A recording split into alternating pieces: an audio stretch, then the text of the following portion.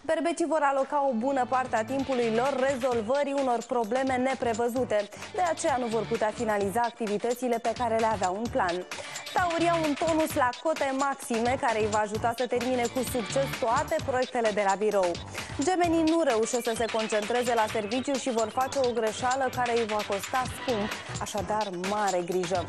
Fracii sunt foarte harnici, se implică la maxim în activitățile casnice. Cu siguranță, partenerul de viață va fi încântat de o așa atitudine. Leii aleg să facă schimbări majore pe toate planurile în această perioadă.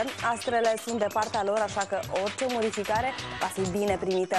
Fecioarele vor avea o zi bună, o veste îmbucurătoare legată de serviciu le va însenina întreaga zi.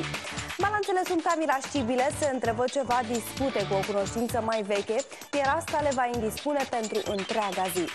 Scorpionii sunt orgolioși, nu țin cont de sfaturile șefului referitoare la un eventual eșec într-o afacere și rău fac, vor avea numai de pierdut.